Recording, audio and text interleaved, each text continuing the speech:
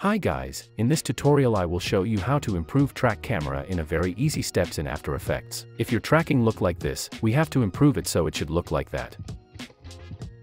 Let's begin, click on track camera and once analyzing is done, I will select some points on the ground. Then right click and here we have some options to select. Let me explain which to use and why. To track footage or any effect in your video, you should select solid and camera or null and camera. I always use solid and camera, because it's easier to know where exactly I have selected the points and created a tracking camera, while null is invisible and you won't be able to see anything. And it doesn't mean it won't work, no, it works the same way and you can feel free to use it as well. But to make things easier while editing, choose solid and camera and you will always be sure where you have selected tracking points. Also here we have a set ground plane and origin setting and it's very useful thing. By selecting it, you tell After Effects where you've exactly selected the points and you tell AE to create tracking camera right there and not somewhere in the sky. By selecting it, you avoid this problem. As you see the footage is not tracked and it keeps going somewhere and it lives on its own, that's why we need to select set ground plane and origin. But what if we won't select set ground plane and origin and let's select solid and camera and let's see what happens and how we can improve things without ground plane setting. Let's track anything now, I will drag and drop tornado footage and let's enable 3D on it.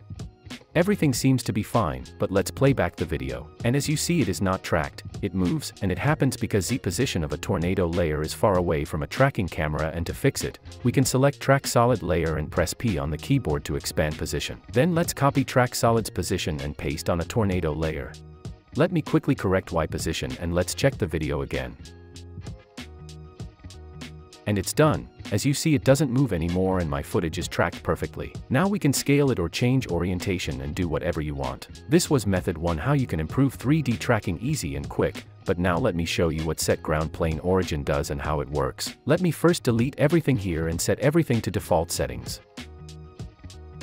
Now I will select points on a ground again and before I click on create solid and camera, I will select set ground plane and origin. As I have already mentioned, by selecting it, I told After Effects that I want to create tracking camera right here and please don't waste my time and don't make me to correct everything manually. Right click again and now select create solid and camera. Before I track my footage, let me show you position values on that track solid.